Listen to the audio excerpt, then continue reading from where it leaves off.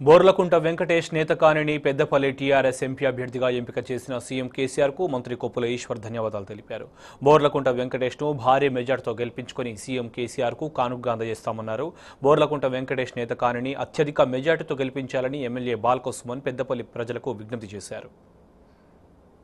ఏది ఏమైనప్పటికీ యావత్తుగా మరి పెద్దపల్లి పార్లమెంట్ పరిధిలో ఈరోజు ఒక యువకుడికి విద్యావంతుడికి అవకాశం ఇవ్వడం అదేవిధంగా ఈ ఈ నియోజకవర్గ పరిధిలో ఉన్నటువంటి ప్రజాప్రతినిధులైనటువంటి శాసనసభ్యులు అదేవిధంగా ఇతర నాయకులందరి యొక్క అభ్యర్థనను మన్నించి మరి ఈరోజు మా ఈ అవకాశాన్ని కల్పించడం పట్ల అందరి తరఫున అందరి పక్షాన మరి హృదయపూర్వకమైనటువంటి కృతజ్ఞతలు ధన్యవాదాలు తెలియజేస్తూ గతంలో కూడా బాల్క సుమన్ గారు గెలిచినప్పుడు కానీ తర్వాత అనేక సందర్భాలలో బై ఎలక్షన్స్లో కానీ మరి టీఆర్ఎస్ పార్టీని ఆశీర్వదించినటువంటి ప్రజలందరికీ కూడా విజ్ఞప్తి చేస్తూ ఉన్నాం. తప్పకుండా మంచి మెజారిటీతో బ్రహ్మాండమైనటువంటి మెజారిటీని ఇచ్చి గెలిపించాలని కూడా కోరుతా ఉన్నాం. పెద్దపల్లి పార్లమెంటు నియోజకవర్గం నుండి టీఆర్ఎస్ పార్టీ అభ్యర్థిగా విద్యాధికుడు యువకుడు గతంలో ప్రభుత్వ సర్వీస్లో పనిచేసినటువంటి వ్యక్తి అయినటువంటి మా మిత్రుడు శ్రీ బోర్లగుంట వెంకటేష్ నేత గారిని మా టీఆర్ఎస్ పార్టీ అధ్యక్షులు